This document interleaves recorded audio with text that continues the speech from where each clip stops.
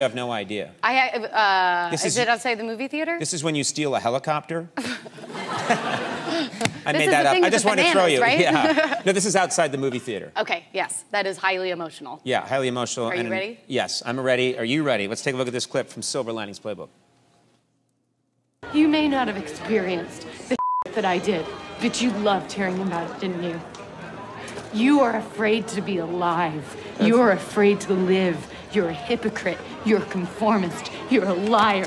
I opened up to you and you judged me. You're an asshole. You are an asshole. Get off me! Get off! You're harassing me! He's harassing me! Good God. Is it hard for you to watch yourself, or you can do it? Yeah, I just like I annoy myself. You annoy yourself? It's not like a weird like acting thing. I just like I'm just like ugh God. I, Well, no one else feels that way. Let me Thank assure you. you. And I, I never. I'm always rolled polite and neutral about when it comes to the Oscars and we have guests on. But man, am I rooting for you. I just Thank think you're just. I think you're the best. I think you're phenomenal. Yes. And I have a lot of pride in this town. I really do.